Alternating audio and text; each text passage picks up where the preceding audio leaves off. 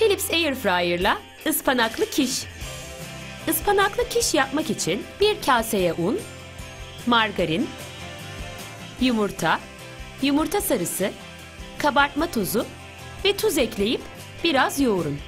Süt koyup karıştırmaya devam edin. Hamur kıvamını alınca ikiye bölün. Parçaları merdane ile açın ve kiş kalıbına yerleştirin. Ispanaklı karışımı hamurun içine doldurun. Air fryer haznesini çıkartın. Sepeti alın ve kalıpları boşluklara yerleştirin. Dereceyi 180'e getirip 25 dakikaya ayarlayın.